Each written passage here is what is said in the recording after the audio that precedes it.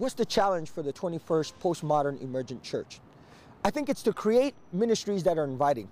Right now, we're on the way to create what we call an aesthetic or cultural arts ministry that says to the artist with red hair, pink hair, that has different hairstyle, or the conservative artist that says, look, your artistry is welcome here contemporary worship and art. What is the challenge for the 21st century church? It's to say to the immigrant, it doesn't matter where you come from. We speak your language. We'll do ESL. We'll welcome you. We'll teach you citizen classes. You're part of the family of Christ. What is the challenge to the postmodern church? It is to be welcoming in relevant ways and in ways that make sense to the community they're ministering to. One theologian says, if you're scratching where the people are not itching, you become an ally of the devil. And if you defend where no one's attacking, you're not doing your job. What's our challenge? To become relevant without compromising our message and welcoming the whole world, the whole gospel to the whole world.